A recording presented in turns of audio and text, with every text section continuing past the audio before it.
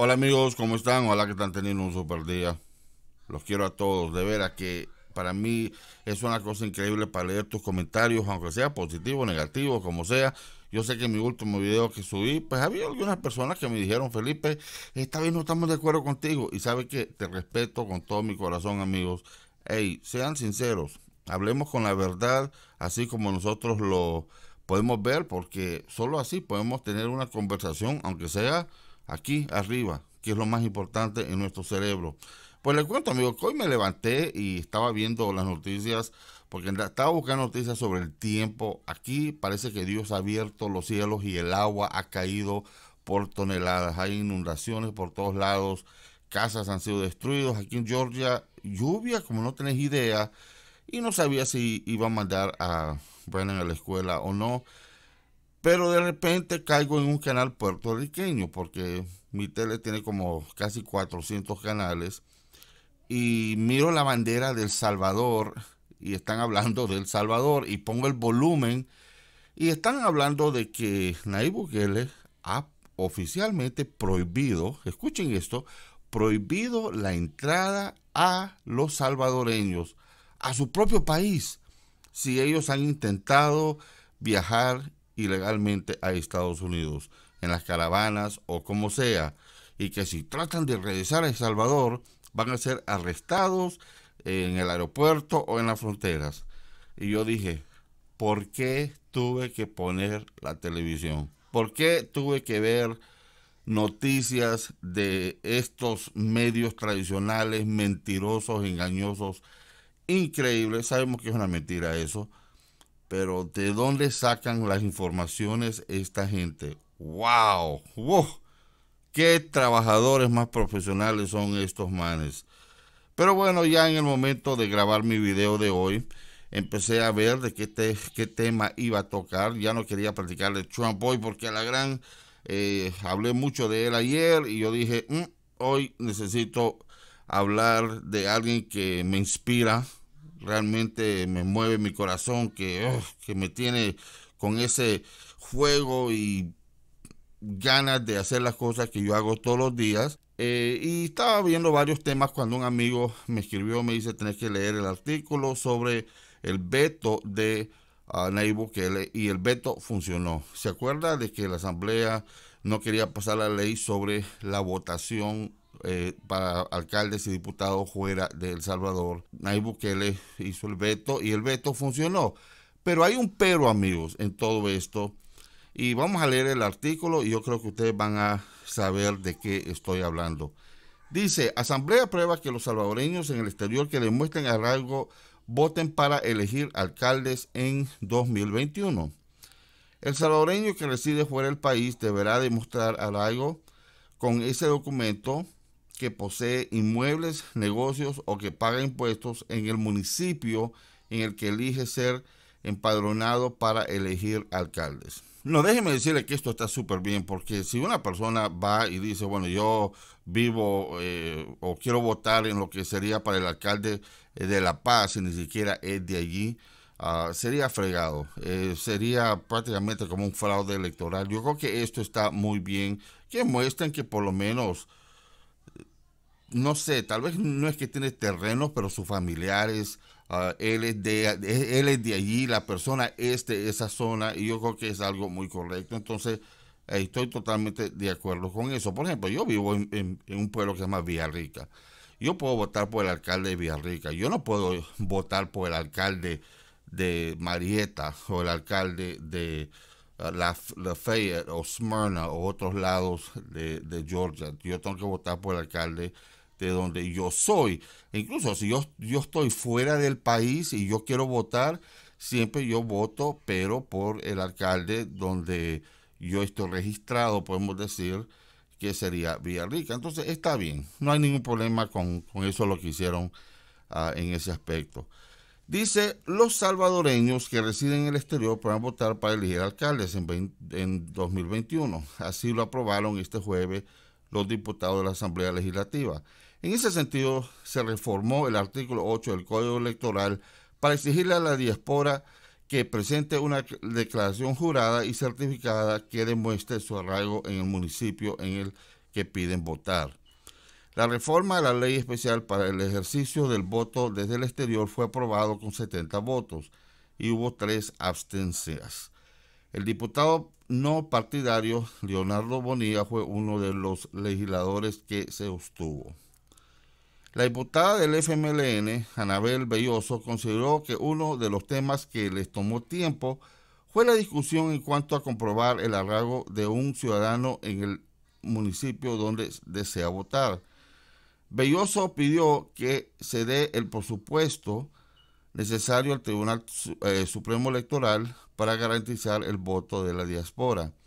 El diputado de Arena, René Portillo Cuadra, mencionó que habrá una un formulario en línea para que la diáspora se pueda empadronar porque es necesario que realice este trámite para poder realizar el voto.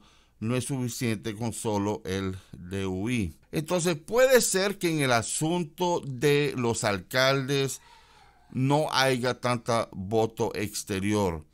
Pero a mí, sinceramente, amigos, lo que más me interesa es la diputación, eh, porque ahí ya es otro rollo y vamos a ver si no hay ciertas trabas sobre lo que es votar por los diputados, porque si, si en la asamblea se puede cambiar, si se puede sacar toda esta gente que están ahí prácticamente haciendo nada, solo son obstáculos para tratar de parar el progreso, entonces las cosas van a ir bien. Eh, con las alcaldías, hombre, ojalá que la gente que sí vive en los pueblos, pues ellos tengan un, poquito de... Mm, y vayan y voten y saquen a, e, esos malvados de, de sus puestos. Dice, según lo aprobado por la Asamblea, la modalidad para ejercer el voto desde el exterior se mantendrá vía postal. Hay un dicho que dice, hay que aceptar el gane y no quejarse de la pérdida. Pero yo sigo pensando que esta es una pérdida en este aspecto vía postal. Salvadoreños, no sean huevones. No esperen hasta el último momento.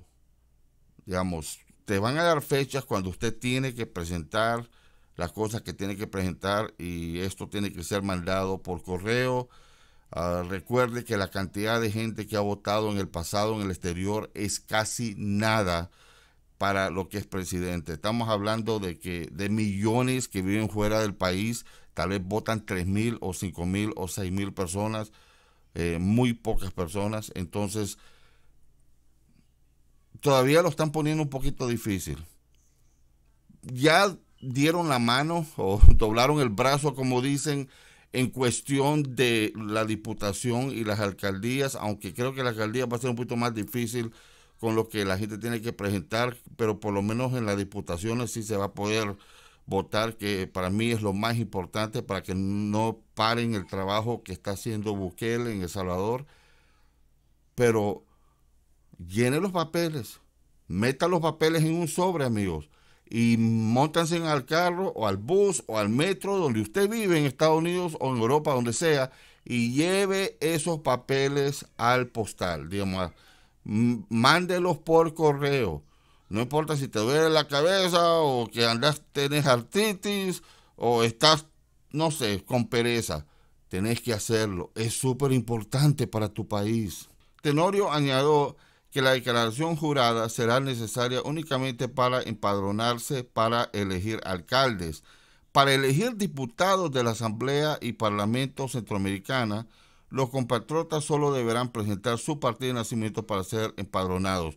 Muy bien, eso es lo que queríamos, eso es lo que queríamos más que todos, que sea súper fácil en lo que es eh, la diputación, porque yo sé que la alcaldía es importante, no quiero menospreciar las elecciones de las alcaldías, pero ahorita es bien importante lo de los diputados. Bueno, el artículo sigue hablando del dinero que van a gastar en toda esta situación, pero también dice que no va a haber voto electrónico. Ok, ¿sabe qué? Lo aceptamos, eh, tal vez es un poquito muy rápido, no sé, eh, ellos no quieren meterse a rollo ahorita con lo que es el voto electrónico. Eh, pero sí, ojalá que empiecen a planificar desde ahorita para que las elecciones que vengan después del 2021 ya sea con voto electrónico. Pero como yo dije antes, uno tiene que aceptar los ganes y decir, ok, ganamos, ganamos en algo. Porque todos saben que el problema más grande que tiene El Salvador ahorita, el más grande, son, es la asamblea, son los diputados. Y si se puede sacar a los diputados que no están trabajando o están obstaculando o han hecho cosas súper mal, que ustedes ya saben cuáles son, a través del voto, digamos, si no se puede sacar a través de la ley, pero se puede sacar a través del voto, entonces eh, ahí es donde todos triunfan. Y por eso el voto exterior es importante. Pero déjenme una vez más decirles a todos, nada de esto va a valer la pena si entran los números como han entrado en el pasado en lo que es el voto presidencial, yo sé que el proceso era súper difícil, llenar un relajo de papeles y esperar que vengan paquetes y que aquí, que allá, que otro. Hicimos un video sobre todo eso, pero si entran y tal vez 10 mil salvadoreños votaron, amigos, para nada. Todo esto, todo este relajo hubiera sido para nada.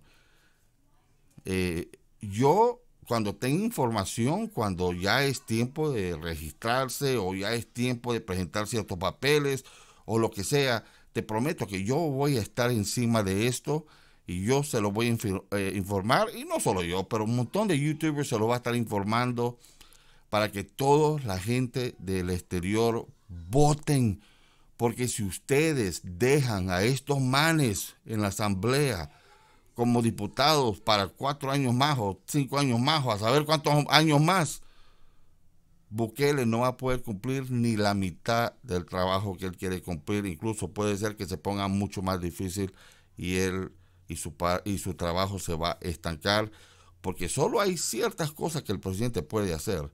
De allí necesita la aprobación del Congreso para muchas cosas. Eh, entonces, esta es buena noticia, pero ahora cae en manos de los salvadoreños viviendo en el exterior. Paz, los quiero a todos. Hasta luego. Bye bye.